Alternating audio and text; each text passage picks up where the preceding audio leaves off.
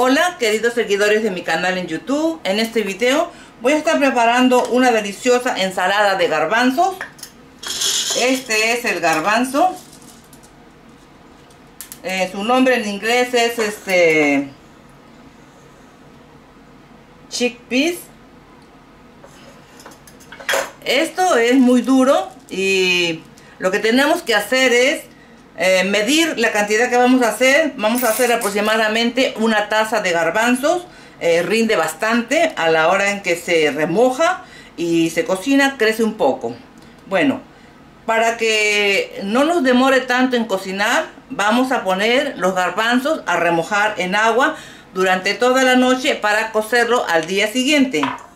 Aquí tengo ya los garbanzos, este, le cambié el agua una vez eh, ese impacto de frío, del calor al frío hace que esto se ablande más rápido y me ha tomado aproximadamente unos 45 minutos en cocerse.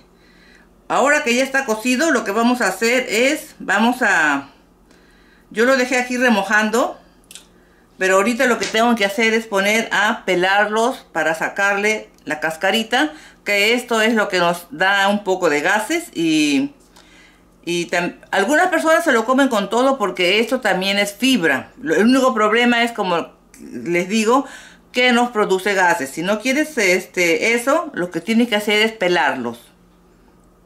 Yo a veces pelo la mitad y la mitad la dejo con su cáscara, ¿ok? ¿Se dan cuenta cómo aumenta una taza de garbanzos? Es todo esto. De una taza nos sale más o menos casi tres tazas de garbanzo cocido. Así que pueden hacer para un día, pero si la familia es grande, con una taza es suficiente. O si no, preparan su ensalada de garbanzos, se comen la mitad y la mitad la reservan para el día siguiente. ¿Ok? Aquí tengo una cebolla, la cual la he picado así larguita. Y lo que vamos a hacer es, aquí voy a agregarle un poco de agua bien helada. Inclusive le voy a agregar dos cubos de hielo le voy a poner un poco de sal y la voy a dejar ahí unos 5 minutos. Pasado los 5 minutos, la voy a enjuagar nada más este, despacio, sin estrujarla, para que se conserve así, ella así bien crujiente, ¿ok? Solamente la remojamos un rato con agua helada con sal y después enjuagamos y la tenemos lista para la preparación. Ya que tengo aquí unos ajíes los voy a utilizar para hacer mi ensalada. Vamos a utilizar unos dos o tres. Estas plantitas las tengo dentro de mi casa. Pero dentro de la casa no están ellas muy bien porque ellas son de, de sol. Pero como afuera está demasiado helado, las plantitas se pueden morir. Así que, miren, voy a utilizar tres ajíes, ajíes dulces. Aquí debajo también tengo el ají jalapeño. Vamos a utilizar un par.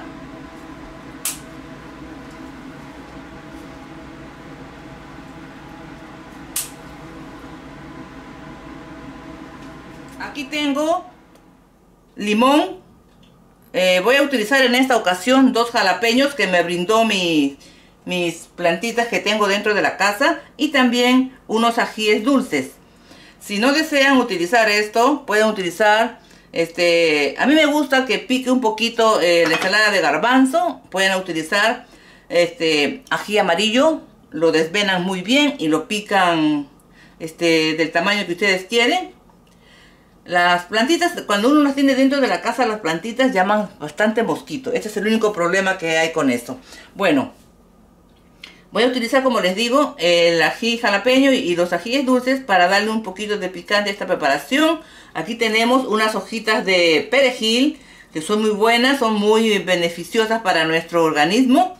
El jugo de limón, como les digo.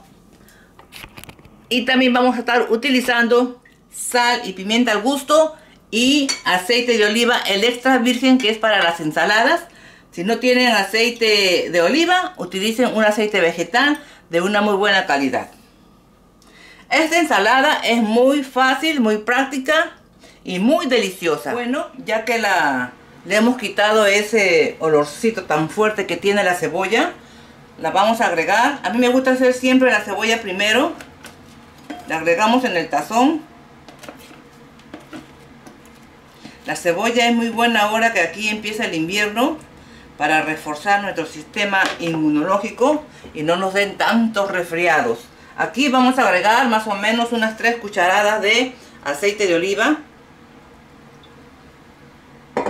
Le vamos a agregar sal. Esta es la sal rosada, es muy saludable. Agregamos sal y pimienta al gusto. Esta es pimienta negra.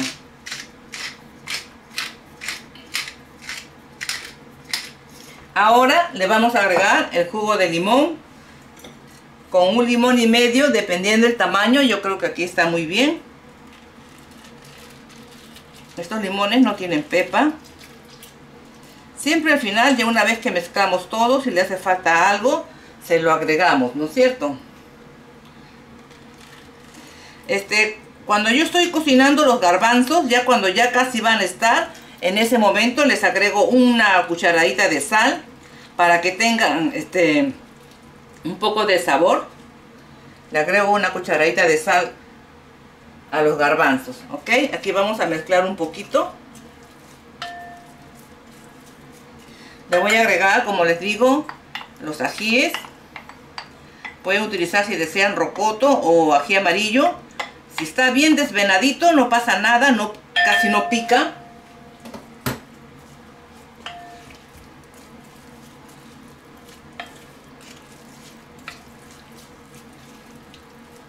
A ver, vamos a ver el punto del, del limón.